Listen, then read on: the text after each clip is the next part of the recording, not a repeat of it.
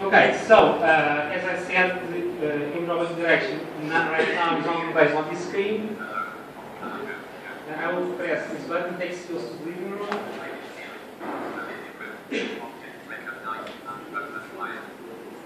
And probably it's going to. Okay, so it's moving to the living room. This is the object. We have object recognition working, but for some reason we cannot send that position to the uh, ARM uh, uh, planner because this is a five.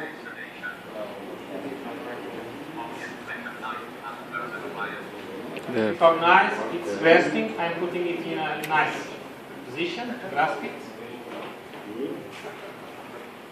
Okay, it likes it.